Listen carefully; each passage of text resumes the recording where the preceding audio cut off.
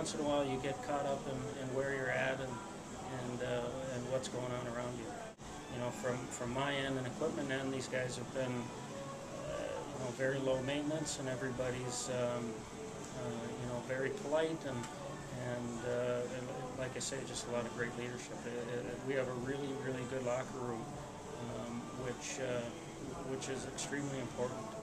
The trainers probably do a majority of the work from the day-to-day workings of it with the taping and icing and doing some of the, the treatments you know, that need to be done on some of the players. We uh, take care of all the medical needs of the, of the team. Um, that includes, you know, pregame uh, exercises, um, rehab, or taping or stretching. Um, you know, obviously game practice coverage, and then uh, post-game stretches and uh, any type of icing rehab. So normally I'm here for the players to help them out when they got healthy or injuries, anything like that.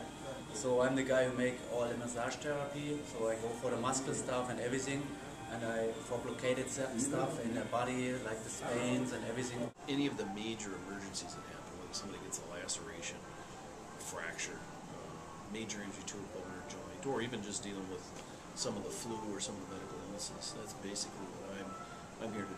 Think equipment manager, they're, they're going to first of all think of uh, sharpening skates, and, and that is a, a main focus on what, what I do day to day for these guys. But, but you know, there's a lot of uh, little repairs and, and making sure uh, everything's organized and ready for players. Our, our mission really is, and, and my mission is, is to is to allow coaches to coach and, and players to play, um, and you know, make sure they can just walk into their room and and have their stuff ready and, and, and hit the ice ready to go. Every night I see a team play, and there's probably been at least one or two players that I've, I've had the opportunity to work with over the last several years, and that's the fun part. You see these kids progress. Any- You know, anytime you get it, if it's you know obviously the World Junior is one of the best events, but if it's even if it's a U18 or U17 event, it's always an honor to uh, to represent your country uh, overseas, or you know it's even more special when it's when it's home here in Buffalo.